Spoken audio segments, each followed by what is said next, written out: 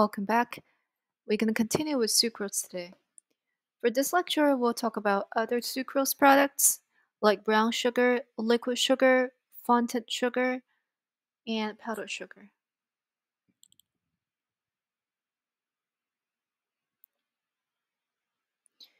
For the brown sugar, it's incomplete purified table sugar. It's normally made by adding back the cane sugar with molasses to give it a desired brownness and taste.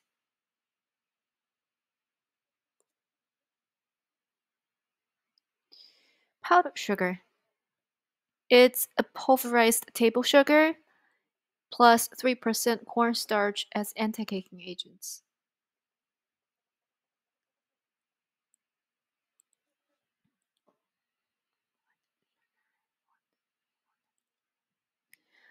Fondant sugar. It's a type of sugar usually used in icing and confections. It's made of very fine sucrose crystals surrounded by a saturated solution of inverted sugar, corn syrup, or maltodextrin.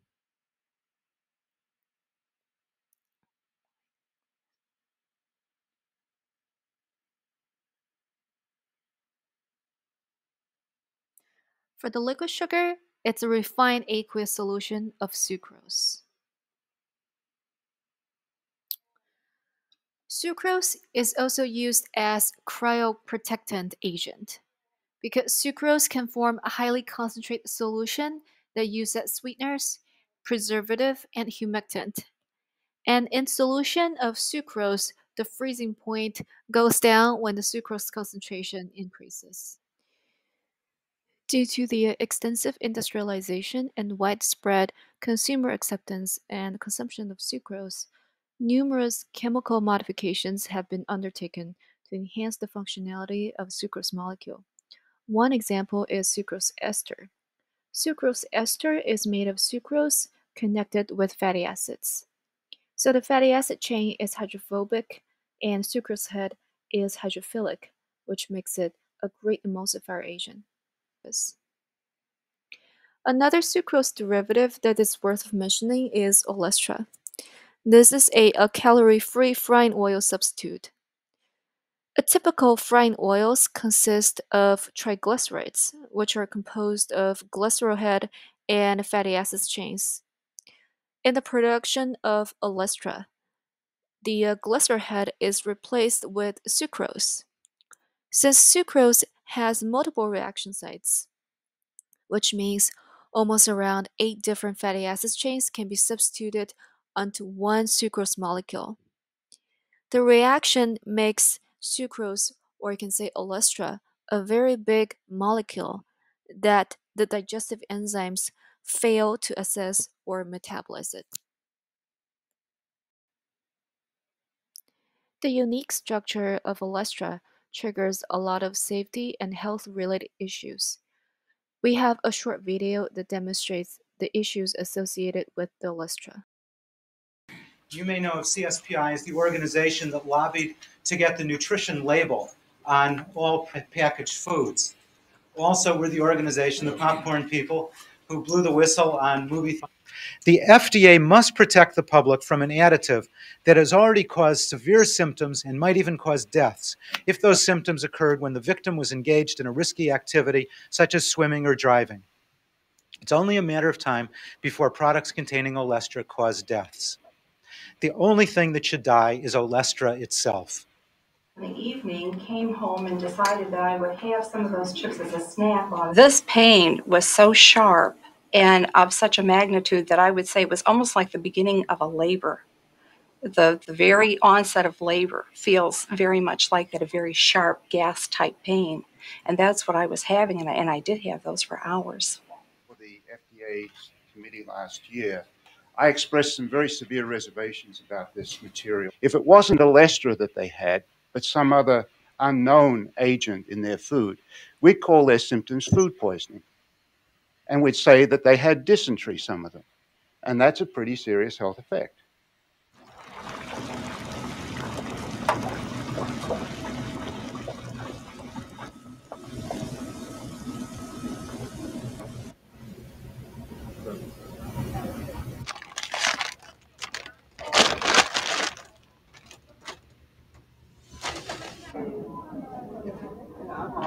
it may paradoxically get us to help people stick to healthier diets. Remember, it's only being introduced as, a snack food as a very first step. So, my view is let's not throw out the baby with the bathwater. A little bit of temporary indigestion shouldn't hold back the introduction of what may be one of the most significant scientific breakthroughs of the next century.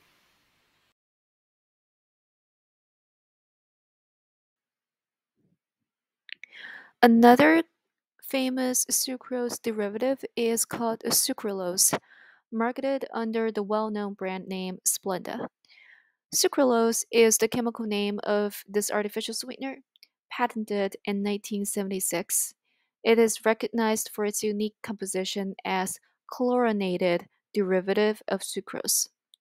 Sucralose is highly valued for, for its exceptional sweetness and remarkable stability under high temperature, making it a widely utilized sugar substitute in a variety of different food and beverages applications.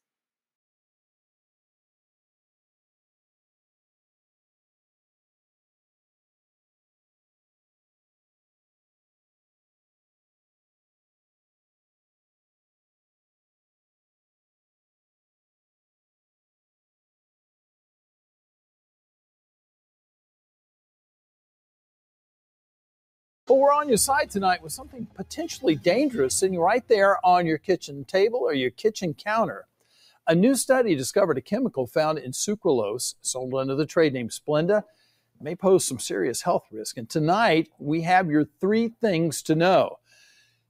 Thing one, where this conclusion came from. Researchers from North Carolina State University and the University of North Carolina at Chapel Hill found the chemical that forms when we digest Splenda is genoc genotoxic, genotoxic, meaning it breaks up DNA.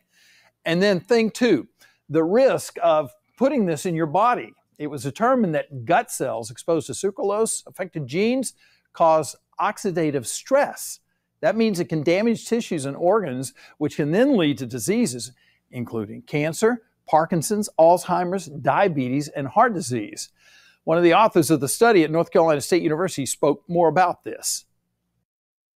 What it does is it damages the little connections between the cells, and it can let compounds, uh, let, let ingredients, for example, in the food supply or other compounds le- leach into your body that should be uh, excreted in the in the uh, from the intestines. Also, sucralose itself will damage the uh, the bacteria in the cell in the in the gut, and it, and it kills off the good bacteria, which is not good. All right, thing three, you're watching this and you realize you have Splenda in your pantry. So now what? Well, if nothing else, Schiffman encourages people to avoid products containing sucralose. It's something you should not be eating. Please type the answers of the quiz questions in the discussion forum.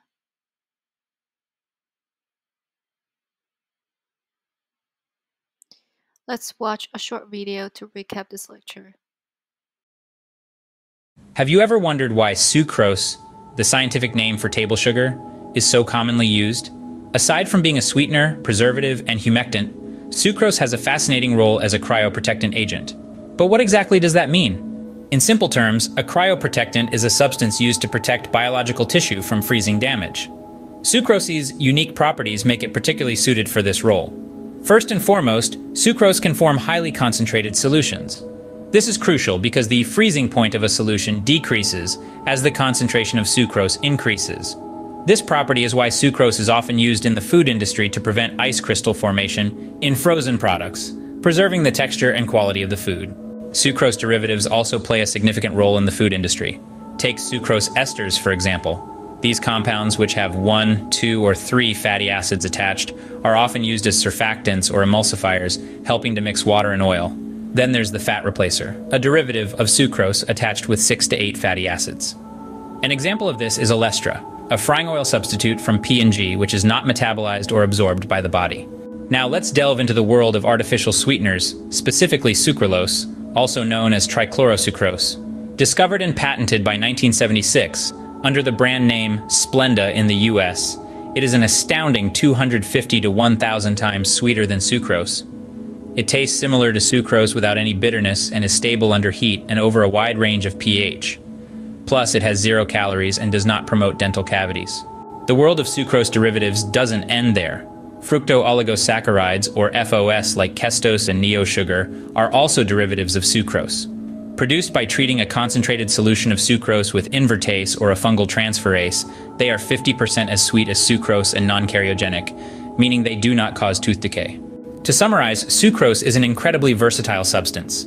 Its ability to form highly concentrated solutions and lower the freezing point of these solutions makes it an excellent cryoprotectant agent.